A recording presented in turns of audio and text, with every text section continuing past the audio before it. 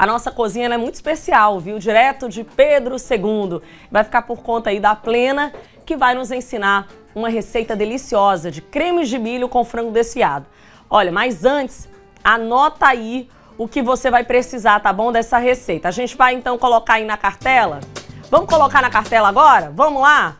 Olha só os ingredientes necessários para você fazer então esse creme delicioso de milho com frango. Vamos ver então, pessoal? Rodou aí, ó. Tá aí, tá aí, tá aí. Vamos colocar o Plena? Bom dia, primeiramente, para você. Olha só, a Plena, gente, ela desenvolve um trabalho muito bacana lá em Pedro II você é professora, não é isso? Sou, sou professora. E além de professora, você também tem essa paixão sou pela cozinheira. gastronomia, né? Que você também é cozinheira, prepara aí uma pimenta deliciosa que é distribuída pelo estado inteiro. Conta como foi isso, como foi que esse amor, essa paixão pela gastronomia surgiu, Plena?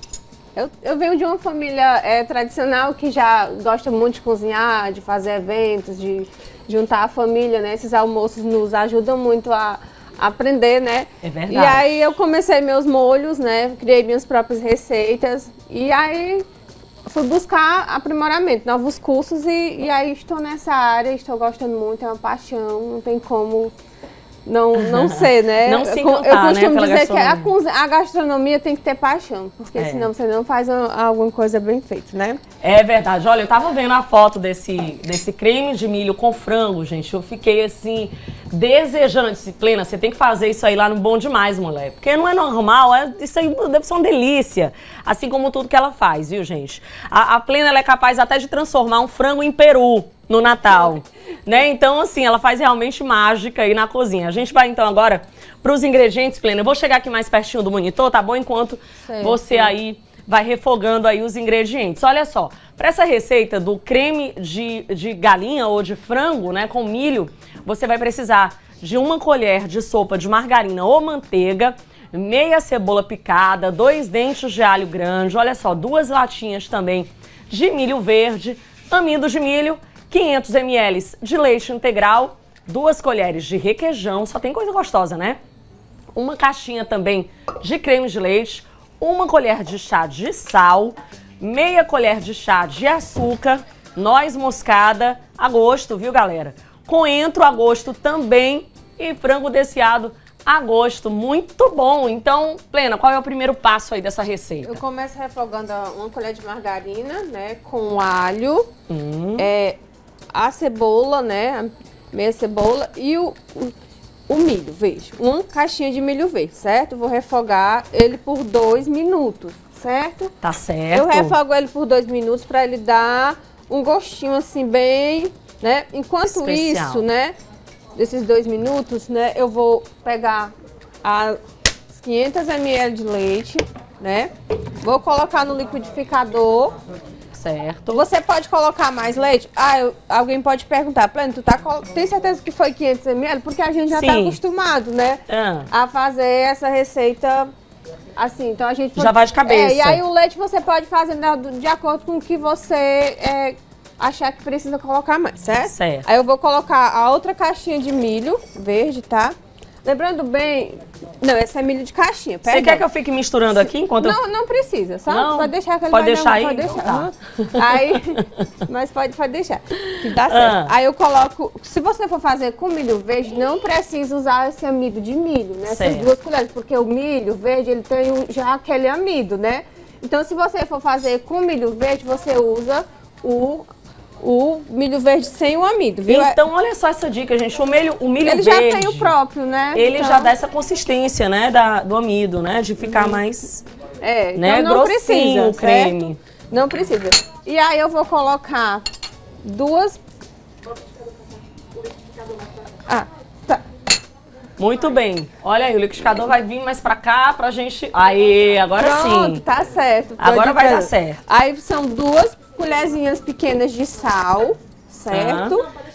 Sim. E uma colherzinha pequena de açúcar, que é para dar aquela equilibrada no, no, sabor, viu? Maravilha. Certo. Olha, então vai sal e açúcar. É, sal e açúcar. São duas colheres de sal. E o sal, eu sempre, em todas as minhas receitas, o sal, eu costumo dizer que o sal é a gosto. Qualquer, toda e qualquer receita. Eu nunca coloco quantidade de sal, né? E essa, essa receita, eu vou bater aqui agora por dois minutos, né? Agora pode mexer o milho. Muito bem. Olha, enquanto a Plena ensina aí a gente a fazer essa receita, eu vou ficando aqui com o meu drink de pitaia. Pode ser, meu amigo? Olha, olha, eu vou te dizer, gente, isso aqui é gostoso demais. Plena, combina com o drink de pitaia essa tua receita? Combina. Obrigada. Combina sim. E eu também queria lembrar para vocês que hum. essa receita vocês podem estar tá fazendo ela com bacon, com carne de sol, também vai ficar muito gostosa, viu? Olha aí. Aí eu vou bater aqui por dois minutos esse... Não precisa peneirar, né? Colocar na peneira. Já despeja desse jeito é, mesmo. Não precisa, viu? Colocar na peneira. Ele vai... Muito bom. Show! Esse milho ele vai dando esse gostinho aqui da cebola, vai. Que eu sei que é dois minutos? Porque a gente vai, acaba acostumando. Na cozinha a gente acaba acostumando com minutos, com quantidades, né? Já vai realmente ficando tudo é. automático. De tanto fazer, né? Acaba. Olha aí. E a cebola refogando aqui com alho e o milho, gente. Isso aqui vai ficar muito bom. Tá aí, olha, enquanto a Plena termina aqui de fazer, né, de bater tudo aqui direitinho, Plena, inclusive quando você terminar a receita aí, eu quero que você experimente também o nosso drink de pitaia, tá bom? Com tá uma certeza. delícia. Tô, olha, e a gente vai voltando aqui com a Plena, por falar em Plena, uh, para encerrando aqui a nossa receita. Vamos lá, Plena? Ó, aqui eu coloquei aquela mistura que eu fiz, né? Certo. Do leite, do do milho e da maisena. Deu aquela engrossadinha? Deu sim, está delícia. Aí eu vou vendo se o sal tá a gosto, né? Sim. gosto. Lembrando bem que o frango desfiado eu já coloquei um pouco de sal. Quando eu, eu, dei uma escaldada com limão, né? No Ceará a gente chama escaldar, se vocês querem entender.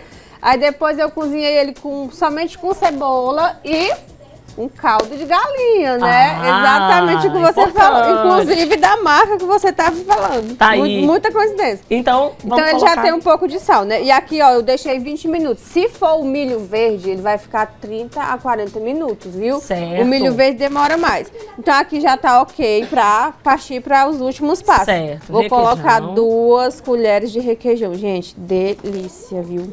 Delícia. Pleno, eu posso tirar algum ingrediente? Pode, fique à vontade. Se você quiser tirar algum ingrediente, não tem problema nenhum. Pode tirar à vontade. Tá certo. Viu? Plena, vamos fazer o seguinte, você vai colocando aí o frango agora, né? Colocando aí os outros ingredientes. Leite, ah. viu? E o frango, por último. Plena, estamos, estamos encerrando então? Estamos, sim. É, gente... Olha aí, estamos encerrando. Ó, aqui, ó. Já coloquei o creme de leite. Falta pouquinho tempo aqui pra gente encerrar o programa, Não, menina. aí eu vou Vamos colocar lá. o frango. Não, não Olha aí. Colocar a quantidade toda, se não quiser, e o cheiro verde. Que é pra arrematar. E só mexer e comer, viu, gente? Muito bom. Enquanto e você, degustar. você despeja aí na, na, na, na travessa, né? Sim, senhora. Na vasilha ou, ou tá plena. Delícia.